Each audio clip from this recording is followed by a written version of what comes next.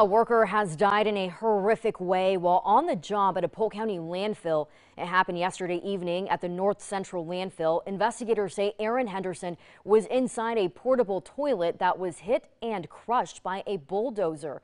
They believe the bulldozer driver was unable to see the portable toilet as he crested the top of a hill. Officials say this was the first fatality ever at that facility.